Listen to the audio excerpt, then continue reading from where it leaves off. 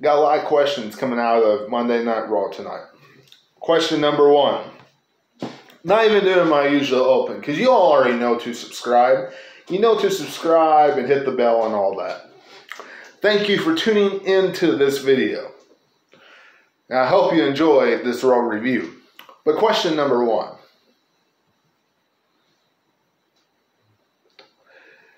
Why did we have to see the United States title on the line tonight? Why couldn't this be been built up to a pay per view? Why couldn't this been built up to Backlash? See some promos. See Finn. Ba- see Vince McMahon building up Austin Theory. See Vince McMahon building up Austin Theory backstage leading up to the match that is scheduled at WrestleMania Backlash. Why?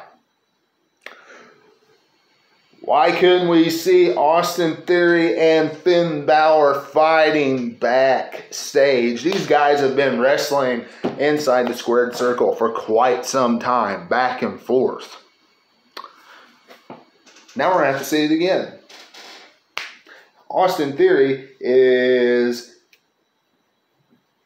the United States champion. He won title. I'm not complaining about him being the United States champion. Don't get me wrong. I am a fan of Austin Theory. Anybody who has watched this channel for any length of time knows that I'm a fan of Austin Theory. But him winning the United States title tonight at a random Monday Night Raw in Buffalo, New York. It's just a bad place for him to win the title. Barely got any reaction at all. Now, they could have done this at Backlash, had all the heels come out, get him up on his shoulder, get them, get Austin Theory up on their shoulders, and Vince McMahon come out, raise his hand, and take the selfies with him. If you ask me, that would have been a better moment for the title change. Y'all let me know what you're thinking in comments below. Now, Damian Priest, Edge, and AJ Styles. What's AJ Styles' Judgment Day? We'll find out at WrestleMania Backlash. They were not specific of what type of match Edge and AJ Styles was going to have. We know they're going to have one. Challenge was accepted, and then the lights started flickering, and um, Edge and Damian Priest attacked uh, AJ Styles in the backstage uh, in the locker room. But uh, I really like this pairing of uh, Edge and Damian Priest. I don't know about you, you all, but this this new pairing of them and uh, Edge kind of taking Damian Priest under his wing. I kind of like what they're doing with it because, quite frankly, a lot of times you know, when a, a, wrestler drops a title, they get pushed down. They either get pushed down to the lower mid card or to the mid card, or they kind of flounder around, or they uh, get pushed to the main event scene. I'm glad they took Damian Priest and they put him with Edge, and he's moving on and he's doing something important because, quite frankly, uh, he did a good job for what he was given with the United States title. And uh, this inner, he took that inner kind of Hulk type thing that Vince McMahon uh, had him do, which made it really cheesy, you know, that got him disqualified and all that, and did all that criticism. You know, he took that and ran with it.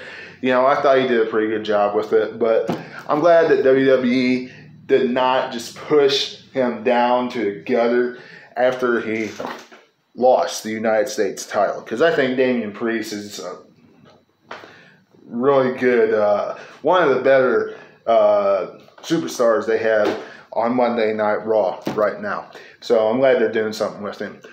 Now, let's move on to the fact that the Street Profits beat RK Bro tonight. I mean, it's good they got a victory. Does it mean anything? No. It doesn't mean jack. It does not mean one thing that they won tonight because they will go nowhere with it. Nowhere. They, they won't go anywhere with it. As a matter of fact, you know, they're having this title unification matchup. And the Usos are going to win. And if you ask me, this is the writing on the wall. And I don't want to see them break up because they make a good tag team. But this is WWE's writing on the wall to break up RK Bro. It is. Usos win the tag titles, makes Roman Reigns and the Bloodline and the Tribal Chief and all this stuff stronger over on SmackDown. And what's it do over on Monday Night Raw? Well, number one, you know, I guess Roman Reigns and the Usos can go back and forth, but RK Bro, Randy Orton turns on Riddle sets up for Money in the Bank and SummerSlam. Two two stadium shows back to back WWE's having. Both in July. Both in July.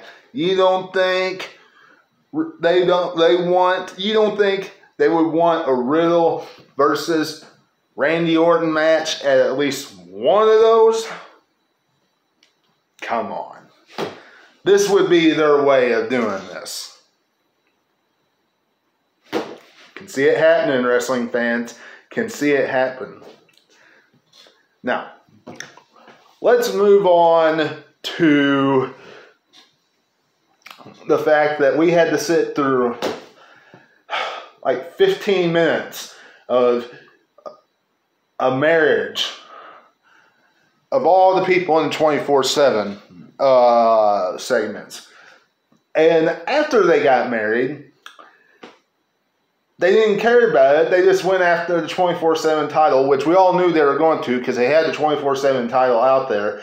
And yeah, there you go. This could have been, this time, could have been given to something else, uh, uh, another match split up between matches. This time could have been given to the women's tag team title matchup. Quite frankly, that was given little to zero time. They spent more time on this 24 uh, 7 segment than they did the women's tag team titles. That's sad. That is sad. Speaking of the women's tag team titles, Rhea Ripley turned heel tonight. She turned heel tonight by attacking Liv Morgan. The biggest thing that comes out of that is okay, well, hopefully uh, Rhea Ripley gets a, a decent push from this. And I hate the fact that Liv Morgan continues to be the recipient of this type of garbage. I, I, I really do because she she went through all that stuff at the end of the year and then in January where she got so close but so far in that rivalry with Becky Lynch. And ever since then, it's just been nothing.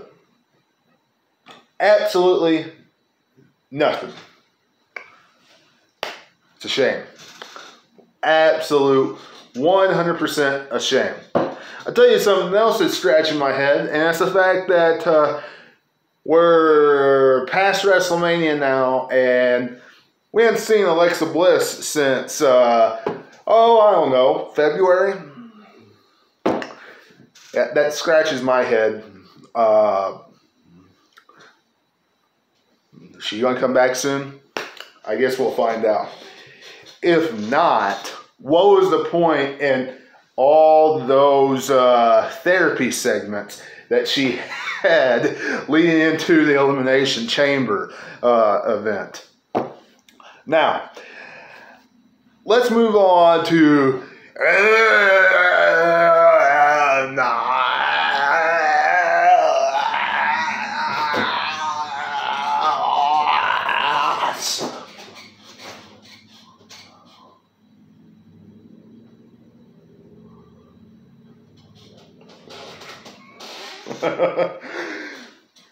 and Bobby Lashley. Listen.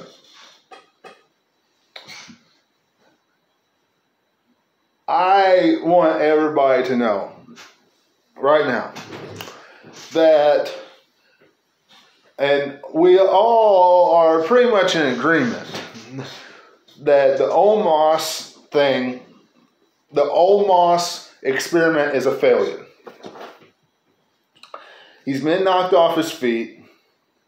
He's lost. It doesn't matter if they pair him with MVP. Or in this case, MVP is playing the role of Harvey Wippleman.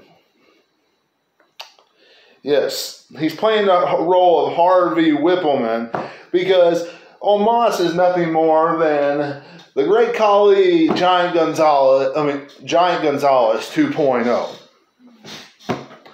And I'm just going to be honest, I'd rather seen an arm wrestling matchup uh, at Backlash than what we're probably going to see, and that is a rematch of what we saw at WrestleMania.